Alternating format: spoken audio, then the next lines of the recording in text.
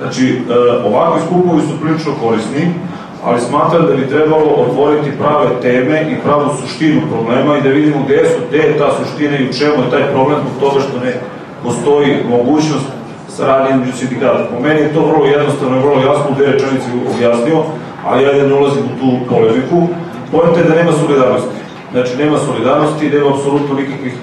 zajedničkih aktivnosti i ne možete da dovedete predsednike sindikata u jednu istu prostoriju, znači ako pokušava to i Friedrich Herbert i profesor Mihajlović i mnogi druge organizacije, nisu uspeli nikad, zato što ovaj neće da sedi sa ovima i ovaj neće da sedi zbog onog. Znači, kada ne možete da dovedete predstavnike sindikata u jednu istu prostoriju da popiju kafu bez ikakve teme,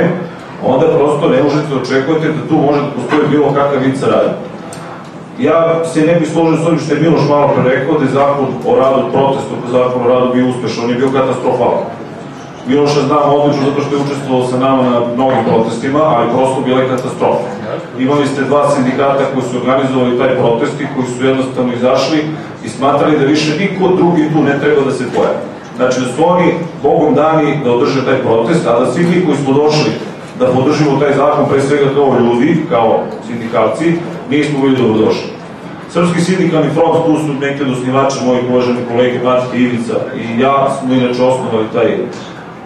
između ostale su još nekim ljudima osnovali taj front i smatram da taj front je imao svoj cilj, da je taj front okupio preko 10.000 ljudi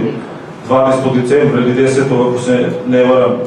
2013. godine i to je bila jedna izuzetno lepa priča jedna pozitivna priča koja je da nisu bili raspisani parlamentarni izbori, verovatno imala neki, neki svoj nastavak i verovatno bi imala mnogo veću ili jaču snagu u nekom narednom periodu. Tako da cela priča se svodi na to da ako imate sindikate koji obstruiraju jedne i druge, ako imate sindikate koji napišu kolektivni ugovor u grani, recimo konkretno zdravstva, koji onemogućuju bilo koji drugi sindikat da radi uopšte, znači u, u celoj toj grani, on onemogućava predstavniku sindikata ustanovi da se bavi, ako nije reprezentativan na nivou Srbije, e onda je to problem. Dokle god imamo sindikalnu poziciju i opoziciju, sindikati će biti ovakvi kako jesu. Dokle god imate sindikate koji su plaćeni od države, koji dobiju ogromne novce i apanaže od strane države, kao što je rekao gospodin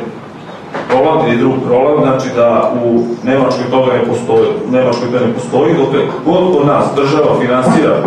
predstavnike sindikata direktno ili indirektno, saradnje među sindikatima nema. Ono momenta kao u Hrvatskoj, kada se bude ukinulo da sindika, predstavnici sindikata budu plaćeni za svoj nerad ili rad u raznoraznim komisijama, odborima i tako dalje,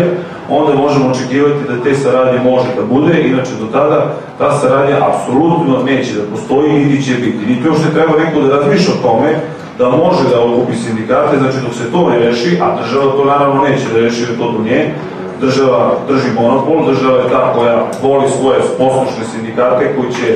u zavisnosti od situacije da izađe njima u susret i da uradi posao koji treba, prvi posao, ako tako mogu da kažem.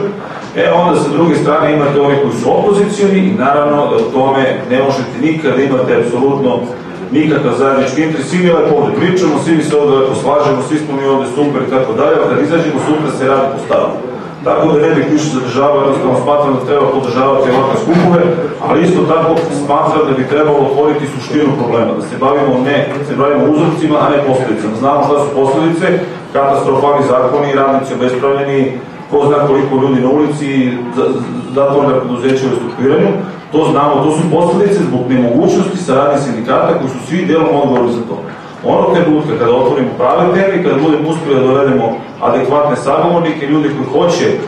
sa dobrom namerom da neđe, nađe probleme i reše probleme ne u svom ličnom, nego u interesu zaposlenih Srbije, nezaposlenih i svih ostalih, kao što je profesor Mihajlović rekao, e onda to možemo da očekujemo da će biti neko poboljšanje. Evo, hvala, izvinjam se što bi malo došlo.